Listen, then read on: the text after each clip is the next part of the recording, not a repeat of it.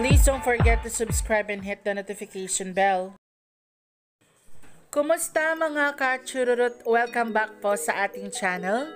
Huwag po muna mag-judge. Ito pong kwentong ito ay ginawa to inspire other women kung paano pwede nilang mabago ang kanilang buhay for the better and in godly way.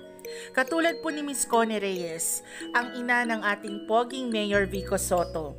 Sa kanyang ginawang testimony sa kanilang church, ay buong pusong inamin niya na minsan siya ay nagkaroon ng relasyon sa may asawang tao.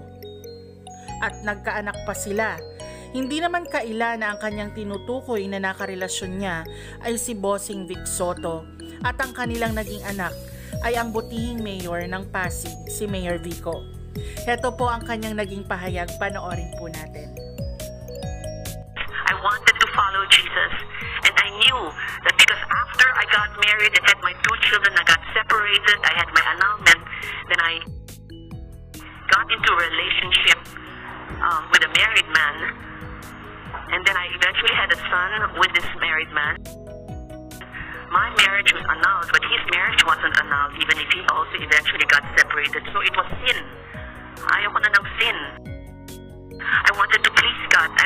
obey God. And so, with all the people praying for me, then I made a decision, a decision to obey, to vision- a decision to turn my back from sin. I would cry every day. I'd get so depressed. I'd really just get so depressed. But then I just knew wanted me to do.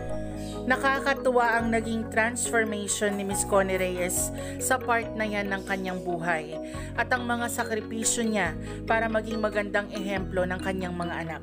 Kaya ako, saludo ako sa iyo Miss Connie Reyes.